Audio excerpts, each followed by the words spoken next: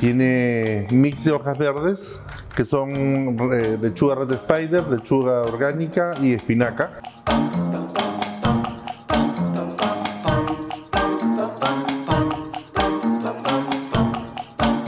Va acompañado de una vinagreta clásica que es vinagre, mayonesa y mostaza.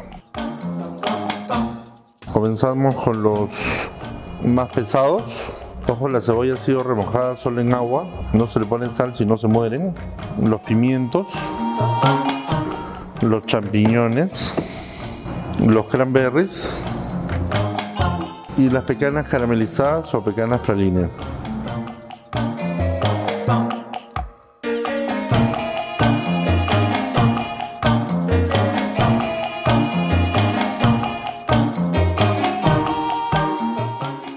Integramos todo con un batidor de lobo y comenzamos a agregar el vinagre.